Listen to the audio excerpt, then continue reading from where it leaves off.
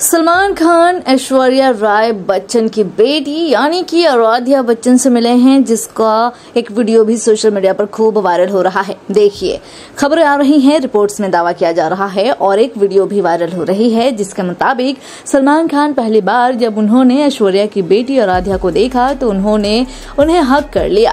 आपको बता दें कि सलमान और ऐश्वर्या एक दूसरे को एक जमाने में डेट किया करते थे, और एक दूसरे से प्यार करते थे, लेकिन बाद में उनका ब्रेकअप ब्रेकअप हो गया और उसके बाद ऐश्वर्या ने अभिषेक बच्चन से शादी रचौली शादी के बाद उनको एक बेटी हुई, जिसको नाम आराध्या है। बता दें कि ऐश्वर्या हमेशा ही आराध्या के साथ में स्पॉट होती हैं। वो चाहे किसी भी इवेंट में जाएँ फ़ंक्शन में जाएँ, हमेशा ही वो आराध्या को अपने साथ लेकर जाती हैं। अब ऐसे में इसी इवेंट के दौरान आराध्या और ऐश्वर्या पहुँची थी, जहाँ पर सलमान भी पहुँचे थे। ऐसे में पहली बार ऐसा हुआ, जब आराध्या ने सलमान को देखा और सलमान ने आराध्या को देखा तो दोनों ने ने एक दूसरे को हक कर लिया। जी हाँ और आराध्या ने सलमान को ग्रीट कर लिया। आप बता दें कि ये मामला सोशल मीडिया पर खूब छाया हुआ है। हालाँकि ये सारी खबरें सोशल मीडिया पर ही चल रही हैं और ये वीडियो भी सोशल मीडिया पर ही वायरल हो रहा है।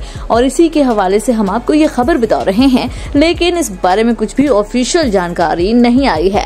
लेकिन आपको बता दें कि इन खबरों को सुनकर ही फैंस तो सुपर लेवल पर एक्साइटेड हैं और सलमान और आराध्या के इस क्यूट से मोमेंट की जमकर तारीफ़ कर रहे हैं।